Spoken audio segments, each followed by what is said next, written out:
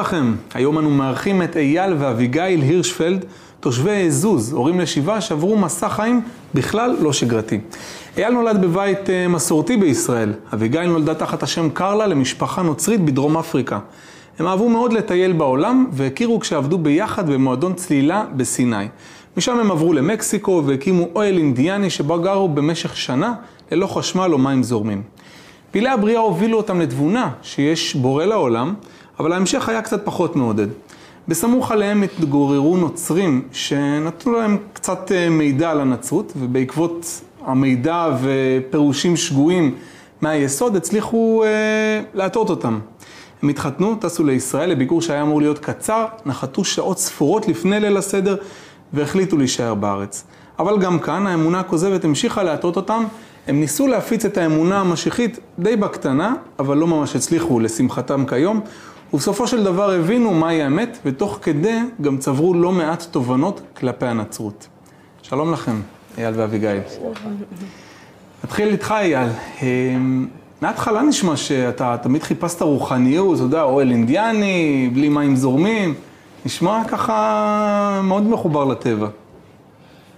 אני יודע, לא יודע אם חיפשתי רוחניות, כמו שחיפשתי לברוח מכל מיני דברים שלא יכולתי אולי להתמודד איתם נפשית, או יותר אה, בריחה מאשר חיפוש. זה התחיל כבריחה, ואחרי זה נהיה כחיפוש, כן.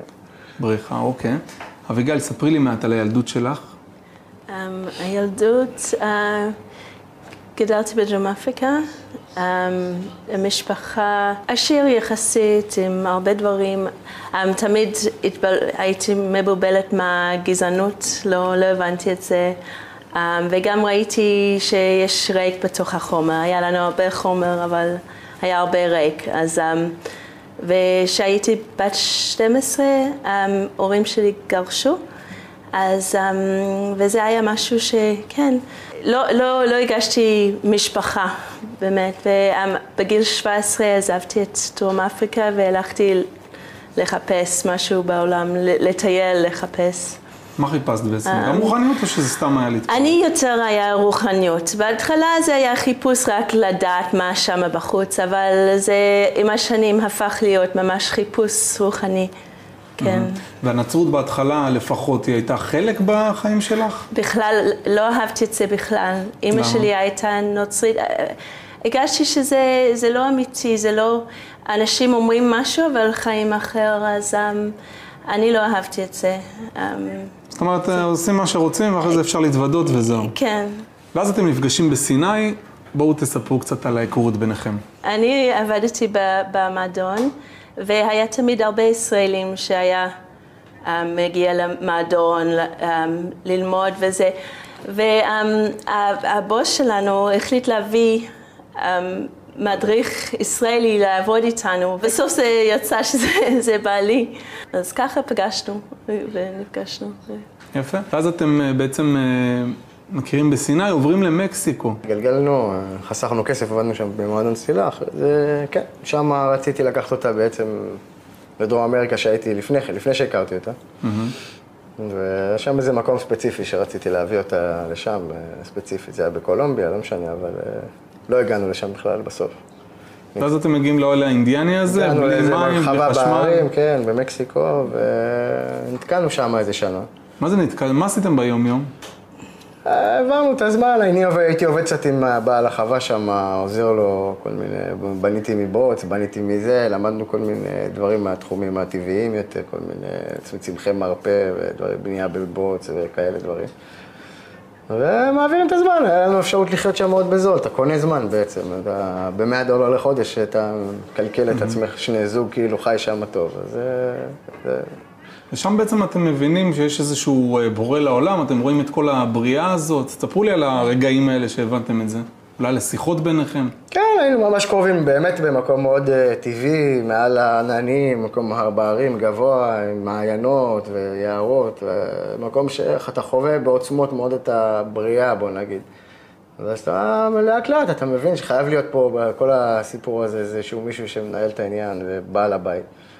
ואתה מבין שיש בורא לעולם. עכשיו, מה עושים עם המידע הזה? אז באמת, אני במקרה, אני, כי לא היה לי שום קשר לתנ"ך לפני זה, לא סבלתי את זה, ברחתי מזה בבית ספר, ברחתי מזה כל החיים, דת ובכלל, כאילו, בספציפית יהדות.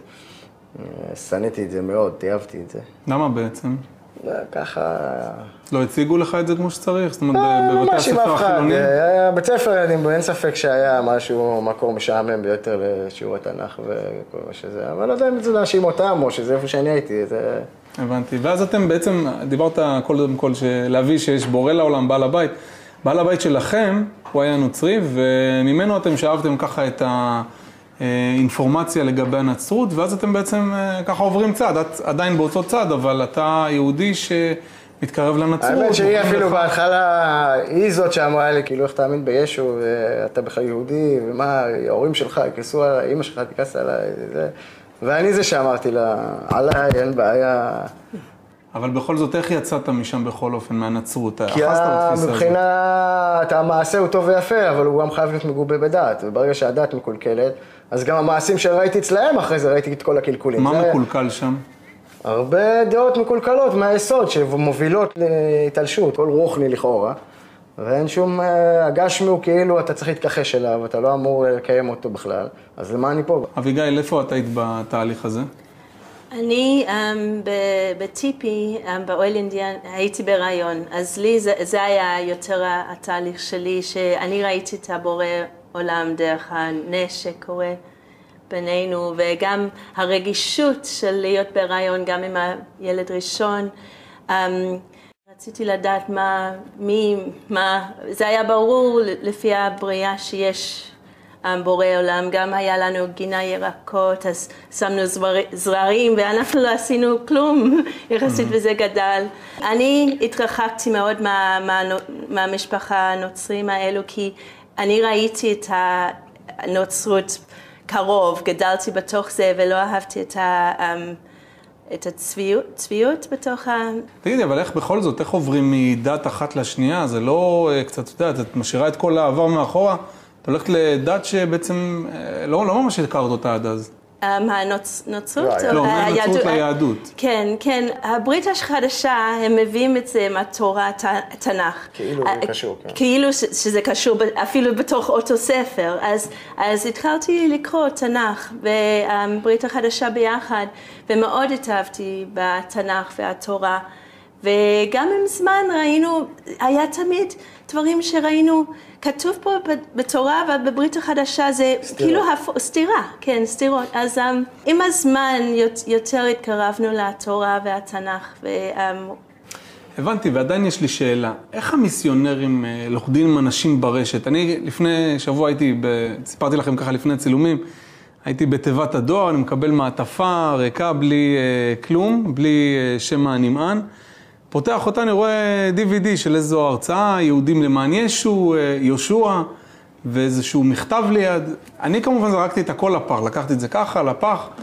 אה, אבל יש אנשים שעדיין, זה מסקרן אותם, הם מקבלים את זה, אומרים, מה זה, זה אולי יש בזה אמת. מה אתם יכולים להגיד לאנשים שמקבלים את החומרים האלה? אני מרגישה שהם הם הלכו למעיין חיים של יהדות ולקחו מים משמה ושם את זה בכלי מקולקל. מקולקל ומלוכלך. זה עמוד. ואנשים מאוד צמאים בעולם הזה. אני הייתי מאוד צמאה. אז להגיע לכלי, אפילו אם זה מים מלוכלכים, זה היה וואו, סוף סוף מים, משהו. אבל אחר כך, עם קצת זמן שלא כל כך מתים, אז- אז um, אי אפשר לשתות מזה כבר. צריך, צריך לעבור למים טה- טהור ואמיתי. זו ההרגשה שלי. יש אבל אנשים שנשארים בתוך המים הלא... איך... מה אתם ראיתם שהם לא ראו? חושב שהיינו מאוד מנותקים מה, מהזרם הכללי של המשיחיים בארץ, היינו חיים בנפרד והרשינו לעצמנו להיכנס למקומות שרוב המשיחיים לא נכנסים, קרי לבתים של דתיים, והיו דתיים שחיו אצלנו ועבדו אצלנו והיינו בקשר איתם ועבדו איתנו. ו... זה היה הקשר שהכי הרבה, אני חושב, תרם להתקרבות בסופו של דבר, כי בסוף ראינו שזה בני אדם מלכתחילה, ואחרי זה מעבר ומעבר, והתקרבנו, ובאנו לשבתות אצל אלה ואלה, וקיבלו אותנו, למרות שעוד היינו ממשיכים, כן, כן, אני מדבר. מאוד אה, פתחו את הבתים ונתנו, וזה היה השלב הראשון של ה... בעצם לצאת ולהבין, אוקיי, רגע, יש פה, זה הבית שלנו, מה, מה אנחנו מחפשים בחוץ? גם ככה לא הסתדרנו שם, אצל אלה לא הסתדרנו איתם אף פעם עם כל ההצגות שלהם. למה לא הסתדרתם? היה הרבה שואו ביזנס שם, זה הרבה מושפע מאמריקה, זה הרוב, רוב הכסף שלהם מגיע מארצות הברית. אתה יכול לראות את זה בכל ערוץ טלוויזיה נוצרי ממוצע, כל ה... זה מדונה כזה, הם כל מיני, מפילים לך אנשים בבמה, כאילו ברוך, וואו, עושים לך קסמים. שואו ביזנס, כל בן אדם שהוא אמיתי, ישראלים ברובם, אני יודע שבשלב כזה או אחר שנמצאים בפנים, רואים את זה ומקיאים את זה. לא יודעים הרבה פעמים איך לחזור, לא יודעים איך, אה, לא יודעים לאן, מבולבלים מזה, אבל הרוב שאני אני יודע שנשארים בזה, זה לא כאלה שגדלו בארץ. ישראלים מאוד ישירים, מאוד אמיתיים, מאוד לא מקבלים את החרטא. ואני חושבת שרק אם זה יהודים, אני, יש לי, יש לי um, ס, סבא רבא יהודי, ובגלל זה אני חושבת שגם... נמשך נ- החוצה. נמשך החוצה, אבל יש המון אנשים שאין להם את הקשר, אז זה כבר נותן להם משהו בעולם הזה, שיש שם אחד שזה לא פגאנים וזה, שמביא למשהו. התקדמות בעבודת הטבעי. התקדמות, ואני חושבת שכל בן אדם שמחפש לאמת בסוף מוצא, מוצאת את זה, וזה מה שקרה לנו גם. אוקיי. אה, החשיפה שלכם בעצם, התקרבתם ליהדות דרך אה, ספר של החפץ חיים. מה הוא עשה לכם?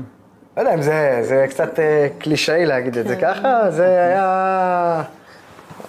תהליך הרבה יותר ארוך מזה, אבל אה, בגדול, דרך המשפחה שאנחנו מאוד אה, בקשר טוב איתם, שהם מאוד עזרו לנו בדרך גם וקיבלו אותנו. ו...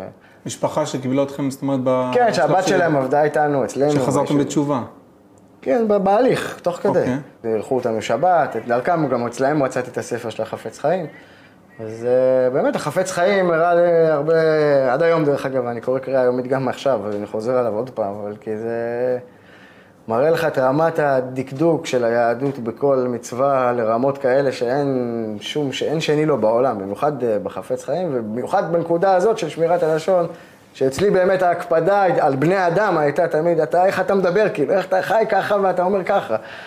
אה, וכשאתה רואה את ההדרכה, שזה ההדרכה, וזה שאנשים טועים, אנשים טועים, כולנו טועים בדרך, אבל אה, לפחות אתה יודע שההדרכה יוצאת, היא ההדרכה הזאת, שהיא כל כך קדושה ומדויקת, ו... ואתה רואה את זה בכל ההלכות, אתה רואה את זה על שבת, אתה רואה את זה על אה, כולי אין סוף, כאילו, על כל מצווה בעצם פתחו לך אותה ל... ל... אין סוף לעומק, שאתה יכול אה, לצלול בו כל הזמן. ו... הייתה אבל נקודה מסוימת ספציפית שבה אמרתם, זהו, אנחנו פה עוברים לגמרי. כלומר, אתה מתאר פה מצב שאתם ככה... בעצם תחילת, תהליך גיור, אבל לא, לא יודע כמה רוצים להיכנס פנימה באמת לעומק, להיות דתיים, כאילו, רוצים להיכנס לחיק היהדות, אבל אה, ברגוע. ותוך כדי ההליך זה התחזקנו, יצרנו קשר טוב עם, אה, עם הרב רונסקי, הוא פשוט היה עוד מופת, עוד דמות, שאחרי זה אירח אותנו גם אצלו וגם בישיבה באיתמר, גם התחתנו שם, אז הוא חיתן אותנו בישיבה באיתמר אחרי הגיור, מה ההבדלים באמת בין החתונות, בין החתונה... שמיים וארץ. מה? חתונה היא זה היה סתם טקס כזה בינינו, זה היה אמנם איזשהו חוזה נאמנות בינינו כבני אדם, אבל uh, פה זה היה קבלה לכלל ישראל. היה, זה היה במקרה בישיבה באיתמר, הרב רונסקי ארגן את הכל, עשה זה, והגענו פשוט ככה כמו מלך ומלכה לחופה, ולקראת שקיעה, כל הישיבה יצאה החוצה, וריקודים וסיסו ושמחו, עשו את כל העניינים. וזה היה ממש כאילו, מ, איך אומרים, מבירה עמיקתא ל... יש איזה מושג כזה, לא בערבית. שאתה יורד מהבור ל- לפסגה, כאילו, שקיבלו אותך, מה שנקרא, הכניסו אותך ישר ל... למועדון. אבל ישר למעלה, כאילו, קיבלו אותך... בסדר, הלכת, טעית, עשית את כל השטויות שלך, אבל עכשיו חזרת? בוא. וולקאם. תגידי, אביגיל, את בשבילך זה היום מיוחד, גם את מתחתנת אה, באופן אמיתי וגם את כן. בעצם אה, מתגיירת. כן, זה כן. מעט אחרי הגיור. כן. אותו יום. אה, זה אותו יום? וחתונה באותו יום. בואי תשתפי אותנו באמת ברגעים הכי מרגשים כן, שלך. וואו, איך- וואו, אני, אני חושבת שכל אישה יהודייה צריך לחוות את החופה ולהיות קלה. כן, ואני מאוד um, התרגשתי איך, איך העם קיבל אותי. כל הריקודים, כולם עם ממש, um, עם, עם ידיים ממש פתוחות, ממש איזה הרגשה, אין על החתונה. היה, כן. יפה. תגידו, היה לכם, אה, היו לכם כמה ילדים באותה תקופה? שבעה. שבעה. חצי שנה. מתחת החופה. אוקיי, והם השתתפו, כן? כן, כן. עכשיו, גם הבנתי אה, מהתחקיר שהיה לכם לפני זה, כשהייתם בעידן הנוצרי הזה, אה, היה משטר ממש צבאי כמעט בבית, ופתאום כשעברתם כן. היה ליהדות, זה... משמעת הרבה יותר חזקה, כן. כן, מה, וראיתם שזה לא עובד? נוקשה, לא חזקה. כן, ראינו שזה לא... מה, מה נוצרית, מה, מה נצרות באמת... אה, יש, יש כיתות בנצרות שהן מאוד נוקשות. יש, יש כל מיני זרמים בנצרות כמו בכל אה, מקום, אבל אה, אנחנו כן נמשכנו אחרי הכיתות היותר הנוקשות, אנחנו טיפוסים קצת יותר קיצוניים, וגם היה לנו מצב יותר קיצוני, היינו עם אה, שבעה ילדים בבית, חינוך ביתי כולם, אף לא היו במסגרות בבית ספר, וזה... אתה חייב, אתה לא לך פה מסגרת אה, נוקשה, אתה לא, אתה תמות במקום.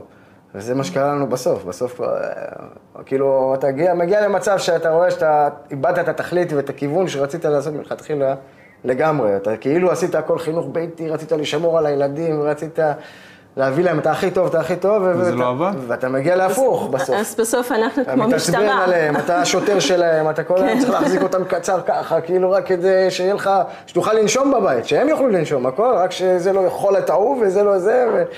ואיזה לימודים ואיזה זה, אתה רק כל היום מתעסק במשמעת. והיום? אה, היום שחררנו בגדול. אבל- והתוצאות? ברוך השם, הם כולם כן. במסגרות היום, מהקטן שבגן ועד הגדולה בכיתה ח'. איך הילדים בכלל קיבלו את כל המעבר הזה? בהתחלה הם שומעים שמשהו אחד, פתאום אומרים להם, תשמעו, עכשיו כיפה, ציצית, עניינים. כן, האמת שהמעבר מבחינתם היה ממש פחות חד, כי באמת שגם בעידן ההמשכי לא, לא יותר מדי רבנו אותם בעניין. הם היו רואים דברים בבית ולא... ידענו שזה בעייתי חברתית, וזה, לא רצינו לערבב אותם יותר מדי בעניין הזה. וכן, ואז שהתחילה הדת, אז יש כאלה מבין הילדים אה, שפחות, אה, יותר, קצת, קצת יותר קשה להם עם העניין של היהדות. יש כאלה שפחות, אה, אבל הרוב הגדול, כמעט כולם, אה, מאוד, מאוד מאוד שמחים ומשתפים פעולה, וממש בקטע לגמרי. ואיך הקהילה עצמה קיבלה את הילדים? אתם יודעים, ילדים זה עם לא קל לפעמים. הקהילה של הדתית או ביישוב? הדתית. חבל על הזמן, שום דבר, שום מילה. שום מילה, ממה שאני יודע. כן, לפני שעשיתי גיור זה היה יותר קשה, אבל אחר- אחרי ש... כן, אולי, בבית ספר הם לא שמעו כלום. כן. יפה. אה, אביגיל, זאת הארץ שלי ואני קשורה אליה מאוד, זה משפט שאמרת, לא אעזוב אותה אפילו לא לביקורים משפחתיים. מאיפה באמת התחושת השייכות הזאת? הבנתי גם שסבתא רבא שלך, הזכרת מקודם, הייתה יהודייה. כן, סבא רבא, כי זה היה סבתא רבא של אבא שלי הייתה. אז um, כן, זה משהו שעם הזמן, אה, אה, אהבת של הארץ, של הארץ הקודש, ואיך אני מרגישה מחובר, מחובר פה, וכל העם, וכן, אין לי, אין לי ממש, אין לי רצון ללכת לשום מקום. לשום ביקור, אני פה ואני רואה איך הארץ עובד איתנו, איך השם נתן לנו ארץ טובה ושם אצלנו אפילו איזה מדבר ואין כלום ולקחנו, שמנו קצת יד, קצת מאמץ והכל פורח כמו גן עדן, זה, זה מדהים, אני, אני מאוד um, אוהבת את הארץ. תגידי, ולגבי החיים הקודמים שלך, בכל זאת, השארת שם משפחה, כן, בית וכולי, כן. איך את, אה, איך היחס היום?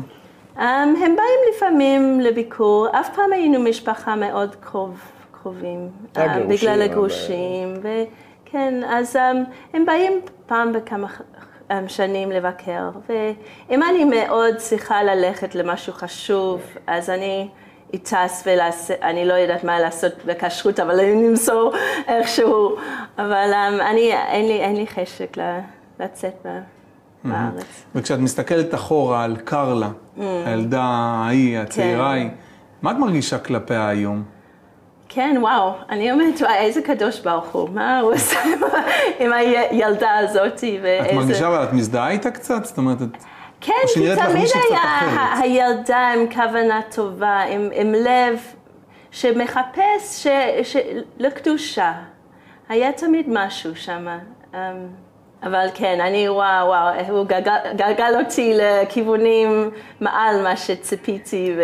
בוא נגיד שנפגשנו, כן. והיית אומר שיום אחד תהיה איך שהיא נראית עכשיו, עם שבעה ילדים אה, במדבר, והייתה צוחקת לך בפנים.